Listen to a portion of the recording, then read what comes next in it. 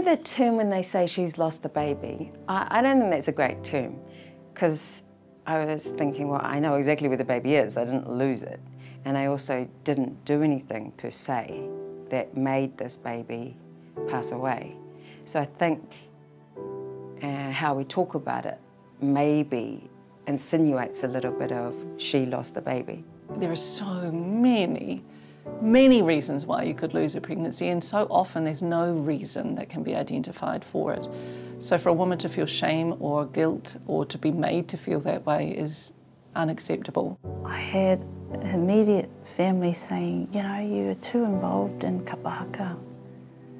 You were too involved in um, going to the gym in the morning, babe. You, you weren't looking after yourself.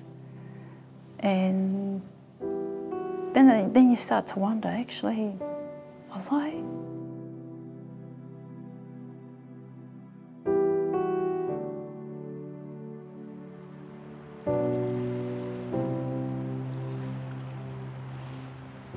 people are always under the impression that obviously that they've done something as a result of which they have miscarried but most of the miscarriages are because of some chromosomal problems in the baby so there is nothing that the patient does which can miscarry. The causes of miscarriages are mostly i would say unknown. I mean i think that we have some theories around it. So it potentially could be divided into issues with the baby, issues with the mum, and then outside factors that can contribute. The most common identifiable cause is the egg not dividing when it's fertilised in a chromosomally stable way, and so getting additional chromosomes or missing chromosomes, which the body then recognises as not right, and the pregnancy will only progress to a certain point. Other times it can be for the mother, so that perhaps she's got some kind of metabolic disorder, there's hormone balances that aren't right in the pregnancy.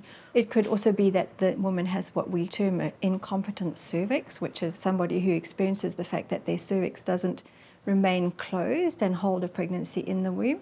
And that's often quite tricky because it um, creates a sense of failure in the mums, and, and I think the terminology that we use enhances that a little bit. すごくうん自分が悪いことをしている、うん、悪いことをしてしまったような気になって、うん、もう自分の人生で墓場まで一生その罪を持っていかなくてはいけないみたいな気持ちになって、うん、赤ちゃんはすごく欲しいんだけどでもすごく自分は悪い人間みたいなブレーキとアクセルが両方あるようないつもそういうものを抱えて楽しく日常を過ごしてる時もいつも何か心の中にある。Immigrants like us, we're coming from a different culture. Um, one challenge that I particularly had uh, was trying to balance it within myself. What I learned from my country of origin and what I learned from my new home in New Zealand. So the conception around early pregnancy in, in our culture is that you don't do anything, you just rest, you go to your mom's place, they cook, they look after you, you don't even carry your shopping bag. Here, it's like you're pregnant, you're not ill, you just go on with your life and this will help you with pregnancy. When I miscarried, I blamed myself a lot, thinking that, you know, um, all of that, maybe I should have had rest, maybe I shouldn't do this, maybe I shouldn't do that. I remember packing, packing our bags and he told me not to do any heavy lifting and to take things easy. Me wanting to get things done, I just did it anyway. And then I started spotting. I felt a lot of guilt, especially because he had just the coincidence of the events that happened prior and him telling me not to do anything, that he'll take care of it. I have yet to sit with a parent who's lost a baby who hasn't gone through the what if.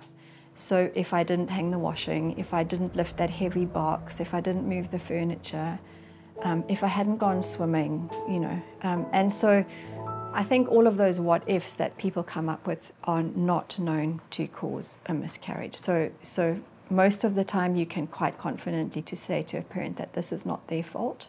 There's nothing that they've done to cause this to happen. I think hopefully reassuring for women to know that the vast, vast majority of miscarriages are kind of nature's way of saying this is a, a, fetus or an embryo or a very, very, very early baby that was never going to be healthy enough to continue to full term. So it's nothing that they did, it's nothing that their body did, it was just the kind of makeup of the baby in the beginning. We never thought it was our fault. We No. we just accepted the fact that it Does probably happen. yeah it does happen, and it was probably that there was something wrong with the baby. Many of these guilt, um, feeling of guilt, feeling of shame, um, they are coming from lack of information.